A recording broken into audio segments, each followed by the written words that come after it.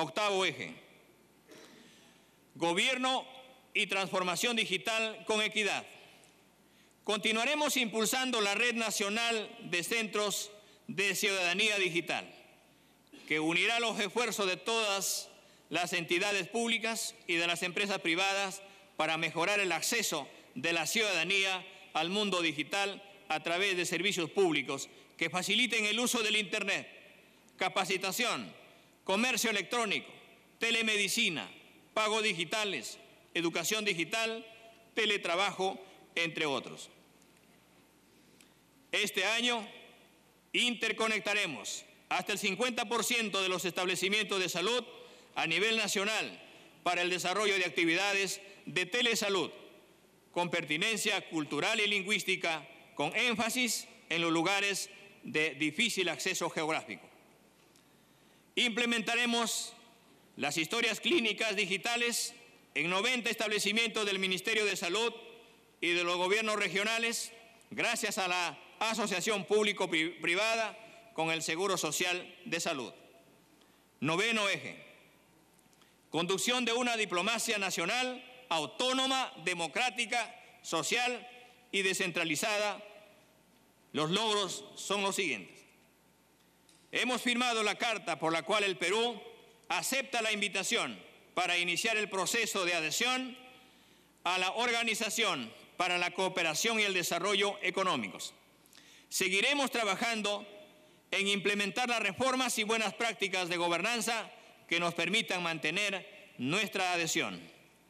El Perú participó en la décimo sexta conferencia de estados, parte de la Convención Marco de las Naciones Unidas sobre el Cambio Climático, y firmó la Declaración sobre Bosques y el Uso de la Tierra, documento que nos permitirá trabajar en detener la deforestación e impulsar la conservación, protección, manejo sostenible y restauración de los bosques y otros ecosistemas terrestres.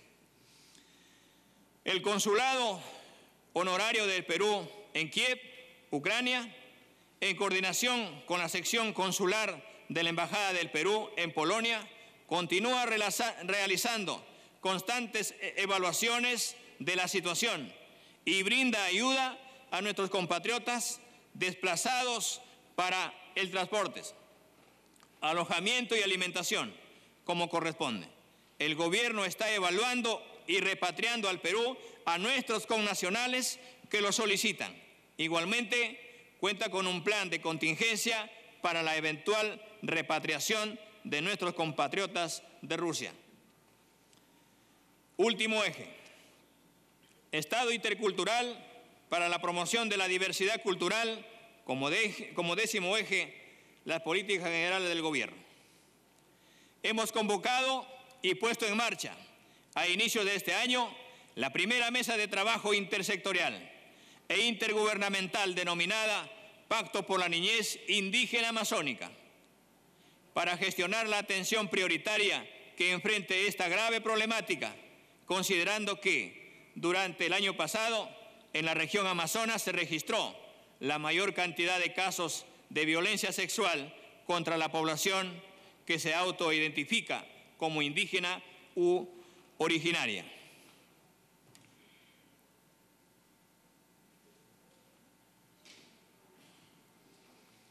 Señoras y señores congresistas, conciudadanos todos, no he venido a eludir ningún tema.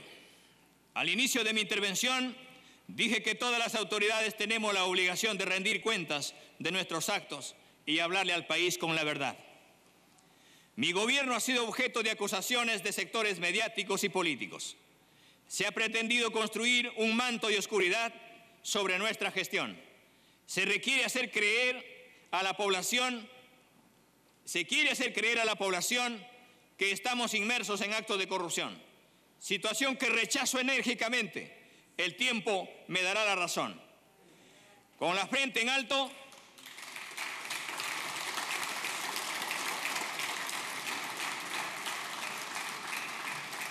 Como siempre le hablo al pueblo, hoy reafirmo de manera categórica que no he cometido ningún acto de corrupción, menos participado en situación alguna que haya buscado favorecer intereses particulares. Soy enfático, no blindaré a ningún corrupto. Si algún funcionario, amigo, paisano o familiar resulta involucrado en hechos de corrupción, pido a las autoridades competentes procedan de inmediato conforme a sus atribuciones, que se les caiga el peso de la ley y que respondan por sus actos.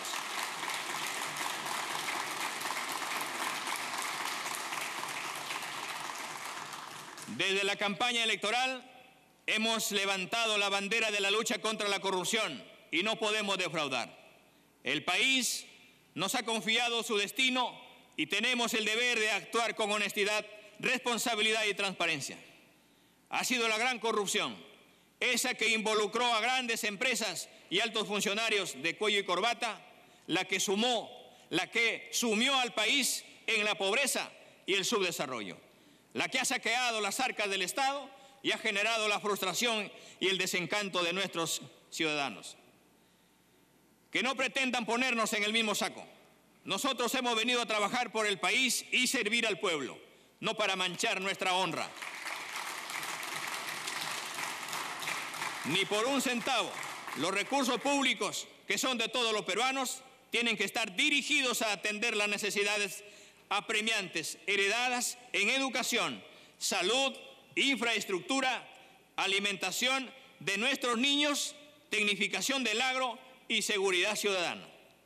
Como presidente, reconozco que hay situaciones que ameritan corregirse y hoy puedo decir que ya lo estamos haciendo. Tengo claro que toda gestión de gobierno siempre es perfectible. En ese orden y para hablar con mayor claridad ante el país, paso a referirme a algunos cuestionamientos concretos realizados en mi contra. Hace un tiempo se repite en los medios de comunicación que me había reunido y tendría vinculaciones con la señora Karen López, sin embargo, su defensa dice todo lo contrario. Ese es un solo ejemplo de las mentiras que se construyen contra este gobierno y que con el pasar del tiempo se van cayendo.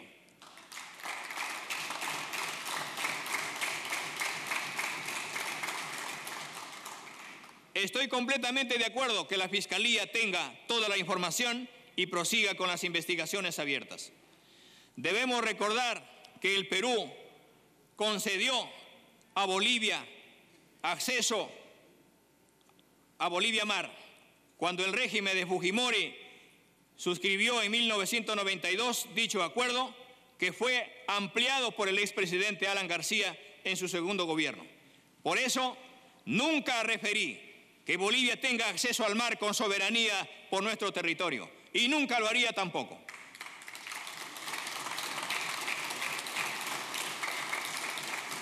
No existe ninguna palabra, ninguna expresión, ningún acto concreto, plan, proyecto o documento que ponga en peligro nuestra integridad. La soberanía marítima, terrestre y aérea del Estado peruano se respeta y es inalterable. Este es un tema zanjado y que en su momento fue aclarado.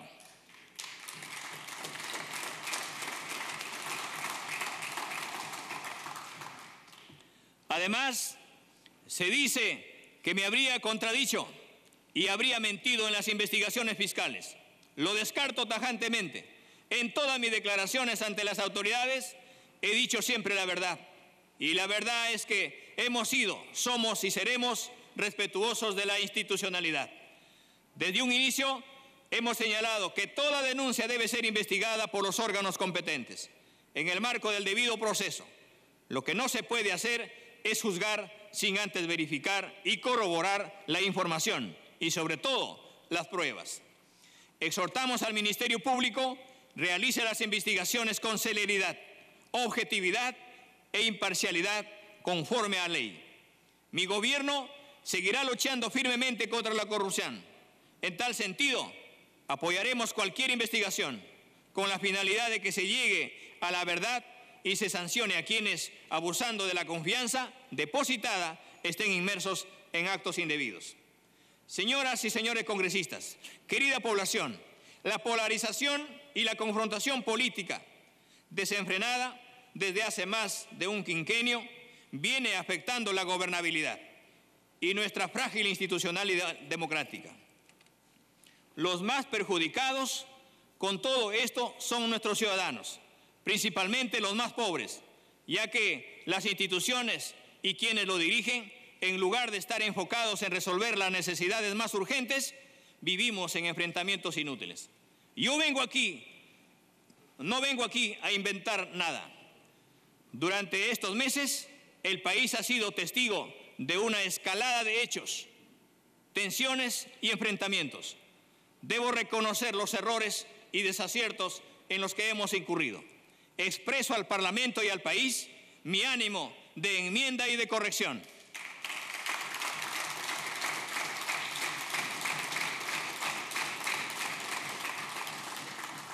Aceptar los desaciertos de mi gobierno no implica, no implica bajo ninguna circunstancia aceptar mi participación en los supuestos hechos delictivos que el Ministerio Público viene investigando.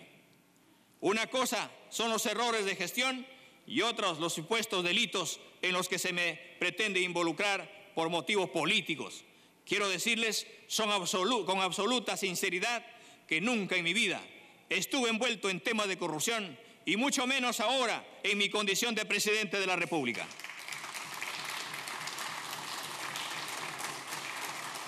Nuestra vocación gubernamental para consensuar en aras de la gobernabilidad democrática en bien de nuestro país no es impedimento para recordar que desde mi proclamación como presidente constitucional de la República, un sector político no aceptó el triunfo electoral que el pueblo peruano nos otorgó. Así, aquí tenemos algunas evidencias. El 12 de agosto del 2021 se crea en el Congreso de la República la Comisión Investigadora de los 100 días de gobierno. El 19 de agosto, en el Congreso, se aprobó conformar una comisión investigadora sobre el presunto fraude en las elecciones presidenciales, a pesar de que los organismos electorales y las misiones de observación internacional determinaron que los comicios fueron libres y transparentes.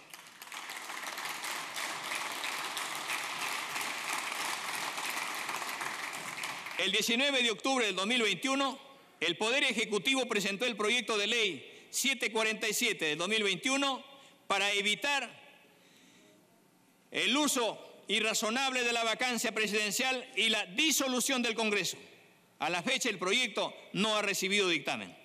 El 21 de octubre del 2021 se publica la ley número 31355, aprobada por insistencia por el Congreso, que restringe la facultad del Poder Ejecutivo para plantear cuestiones de confianza.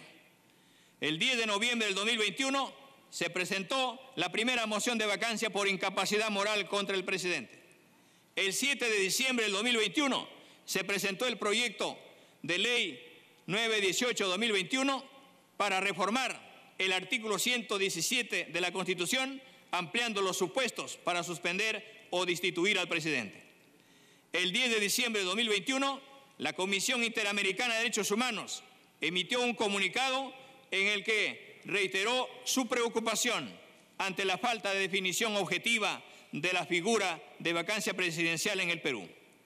El 22 de enero de 2022, el Congreso de la República aprueba por insistencia la ley que refuerza los límites para convocar un referéndum en el Perú la cual fue observada por el Poder Ejecutivo debido a que, afecta el derecho a la participación política, vulnerando el régimen democrático. El 11 de febrero de 2022, la Subcomisión de Acusaciones Constitucionales acordó por mayoría incluir en su agenda y priorizar la denuncia contra el presidente Pedro Castillo por presunta traición a la patria. La denuncia fue presentada por un grupo de abogados encabezado por la señora Lourdes Flores. El 28 de febrero de 2022, la Subcomisión de Acusaciones Constitucionales acordó por mayoría declarar procedente la denuncia constitucional contra el suscrito por un presunto delito de traición a la patria. El 8 de marzo de 2022 se presentó una segunda moción de vacancia por supuesta incapacidad moral contra el presidente. Esto evidencia que ha existido y existe un intenso y sistemático trabajo para cuestionar la legitimidad de la presidencia de la República y obstruir las labores del Ejecutivo, con el único propósito de vacar al presidente de la República o de encontrar mecanismos para recortar su mandato. Como demócrata, entiendo la facultad del Congreso de ejercer la fiscalización y el control político. Sin embargo, dichos mecanismos no pueden ser ejercicios mediante el abuso del derecho, proscrito en la Constitución, desconociendo la voluntad popular expresada en las urnas, vulnerando el equilibrio de poderes, restringiendo las facultades y competencias de otro poder del Estado. Hasta este punto hemos hecho notar la compleja y difícil relación entre el Poder Ejecutivo y el Congreso. Sin embargo, ello solo, es solo una parte del problema que hoy atravesamos como país. En efecto, el Perú vive hoy una crisis institucional sin precedentes que involucra los tres niveles de gobierno. Ello impacta negativamente en la calidad de los servicios públicos que como Estado brindamos a la población. Esta situación no puede continuar. La constitución política ha diseñado un orden institucional compuesto por tres poderes del Estado, organismos constitucionales autónomos y gobiernos regionales y locales, quienes cumplan una serie de funciones tendientes a lograr servicios públicos de calidad. Entre estos organismos existen mecanismos de control político y jurídico, a efectos de evitar un ejercicio abusivo del poder. El problema de la crisis institucional se refleja de diversas formas. Una de las muestras más evidentes sobre la que quiero llamar la atención hoy es que las principales instituciones de nuestro país tienen problemas de legitimidad, autoridades con mandatos vencidos y, en otros casos, ni siquiera tienen el quórum para funcionar o están incompletas sin que se haga algo para resolver estos problemas. El Poder Judicial enfrenta desde hace años serios problemas de legitimidad. Los peruanos estamos esperando desde hace años, desde hace muchos años, las sentencias en los grandes casos de corrupción y entre otros.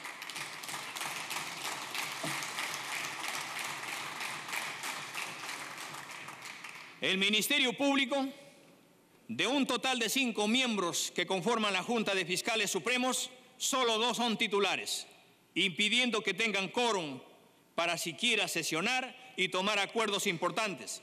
Esta situación es inadmisible en un, organismo del sistema de justicia. El Tribunal Constitucional, organismo que debe tener siete integrantes, cuenta con solamente seis miembros, de los cuales cinco tienen el mandato vencido y próximamente se vencerá el mandato de un sexto magistrado. En caso de no, en caso no se elija a sus integrantes, seríamos el único país del continente que cuente con un Supremo Tribunal cuyos integrantes tengan dicha condición, y ello sería lamentable. Situación que se agravaría si la elección de estos magistrados recayera en candidatos que no tengan las cualidades que demanda la justicia constitucional independiente y proba. La Defensoría del Pueblo, institución encargada de la defensa de los derechos fundamentales de la comunidad, también tiene su representante con mandato vencido y dedicado a promover la vacancia del presidente de la República. En el ámbito regional y local hemos sido testigos de los diversos casos de corrupción que han involucrado a diversas autoridades. Los ejemplos que me he permitido indicar revelan la necesidad de, realizar reformas profundas e, e integrales en nuestro sistema de gobierno.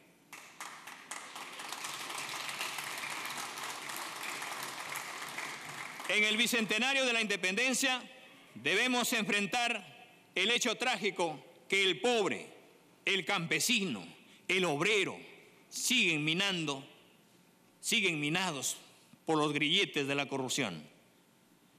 Esta les ha privado de oportunidades, de una vida digna, de ser realmente libres. El Estado nos falló. Se dejó invadir por la corrupción. Me niego a creer que la, justicia seguirá ciega frente a tal atropello.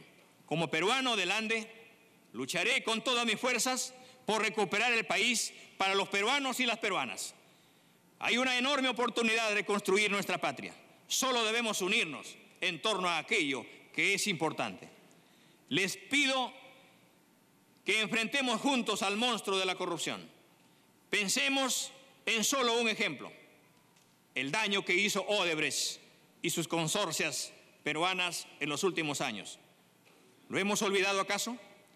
Hemos dejado pasar los más de 50 mil millones de soles que nos han costado perder miles de escuelas y hospitales. ¿Qué hay del acuerdo de colaboración que nos llevaría a la verdad? ¿Cuántos acusados por corrupción tenemos? ¿Cuántos están sentenciados después de casi siete años del haberse conocido plenamente estos latrocinios al, al país? Si nos robaron más de 50 mil millones, ¿con cuánto nos han reparado? Si tenemos procuradores intocables, ¿a qué se debe? Más de una respuesta que nos obliga a estar unidos. Su rol fiscalizador debe desplegarse contra los verdaderos enemigos de la patria.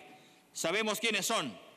No permitamos que, escudados en mala prensa, especialmente aquella que está mayoritariamente manejada por ciertos grupos económicos, busquen deslegitimar al gobierno del Perú.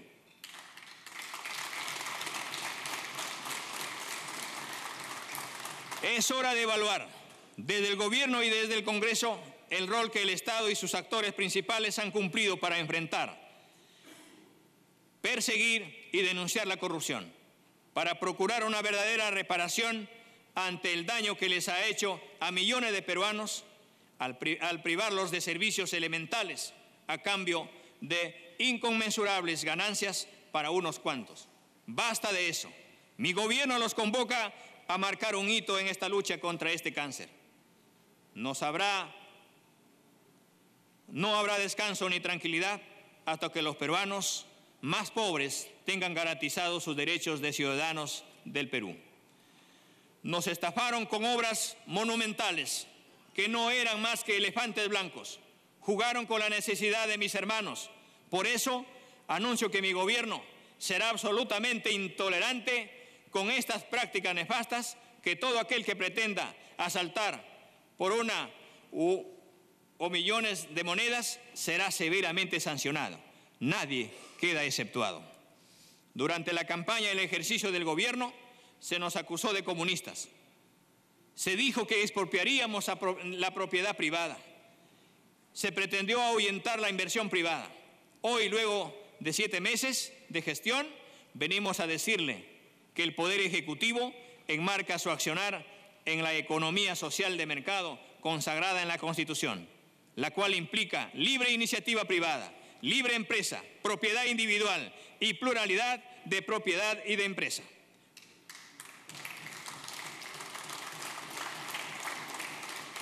con una participación necesaria del Estado para combatir los monopolios, oligopolios y posiciones dominantes, para que estos no continúen afectando la economía de los más necesitados, así como para, defender a los consumidores y usuarios dentro de su marco regulador. Quiero ratificar también el compromiso del Perú con la inversión nacional y extranjera, remarcando la necesidad que ésta opere sin corrupción y con responsabilidad social, priorizando la, diversificación productiva nacional. Al inicio de mi intervención, detallé los avances, los avances alcanzados en estos primeros meses de gobierno. Ahora daré cuenta de la representación nacional y al país las próximas acciones que ejecutaremos en el marco de los desafíos más importantes e inmediatos. Contener la pandemia, impulsar la reactivación económica y generar condiciones de bienestar para todos los peruanos. En el sector salud, intensificaremos la vacuna contra la COVID-19 para cerrar las brechas en la aplicación de la tercera dosis para la población adulta y la primera y segunda dosis para los niños y niñas. Protegeremos la vida y la salud de todos los peruanos.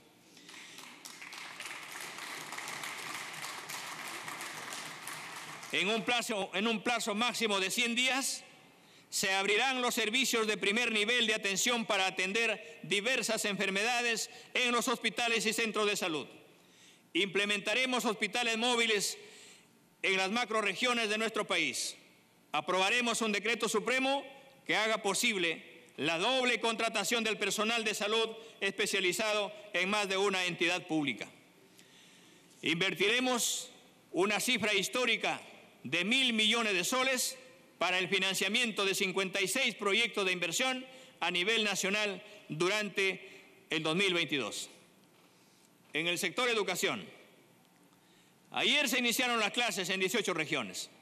El próximo lunes, 21 de marzo, retornarán a clases en dos regiones más y finalmente el 28 de marzo retornarán en otras cinco regiones con lo cual se cumple el compromiso del retorno a la presencialidad del 100% de los estudiantes del país.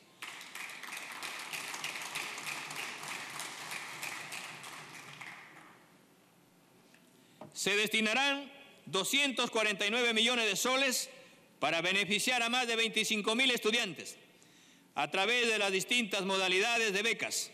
La beca, continua, la beca Continuidad de estudio de educación superior tendrá una nueva convocatoria este año para el otorgamiento de hasta 12.000 becas especiales de nivel pregrado. Se reactivará la televisión educativa a nivel de la señal satelital que atenderá a los docentes y estudiantes de 2.000 instituciones educativas de las zonas rurales más alejadas. Se continuará con la entrega de tablets a más de 319 mil beneficiarios entre estudiantes y docentes. Aseguraremos la entrega oportuna de material educativo en 41 lenguas originarias, favoreciendo a casi 747 mil estudiantes y avanzaremos en la atención en otras lenguas, a fin de brindar atención integral de los pueblos indígenas, poblaciones afroperuanas y personas con discapacidad. Este 2022 se incrementará el piso salarial de los profesores nombrados sin contratados, cuya remuneración básica mensual será de 2.600 soles. Se continuará con el pago de la deuda social del magisterio. Se transferirán 220 millones de soles a las universidades públicas para el incremento de la oferta académica de pregrado, implementación de centros universitarios de conectividad y bonificación para los docentes investigadores.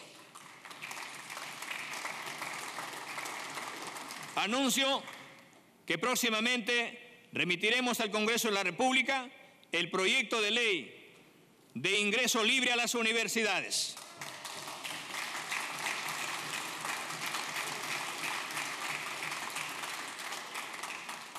En el marco de la reconstrucción con cambios, se tiene una cartera de 115 proyectos de módulos básicos de reconstrucción y 316 módulos educativos. Con ello, se espera atender a más de 15.000 estudiantes y 431 instituciones educativas en 10 regiones del país. Reactivación económica. Se tiene proyectado en el 2022 un crecimiento de la actividad económica entre el 3.5 y 4% el Perú volverá a liderar el crecimiento en América Latina y el Caribe. A partir del segundo trimestre de este año, la inversión pública se acelerará con el destrave de proyectos de infraestructura y la promoción de la inversión privada para el crecimiento económico. Anuncio que tenemos que promover un proyecto de ley para establecer medidas para reactivar las obras paralizadas. Apostamos por reencaminar 1.337 obras públicas, que a su vez presentan 8.897 millones de soles. Se impulsarán 26 proyectos por un monto de 1.084 millones de soles para la construcción de cuatro establecimientos de salud, la construcción y mejoramiento de 20 centros educativos el mejoramiento del sistema de agua potable y alcantarillado, entre otros.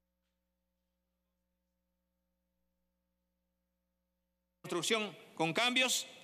Para diciembre del 2022 se culminará la ejecución de 1.585 obras de infraestructura social y productiva. Se apostará por la descentralización.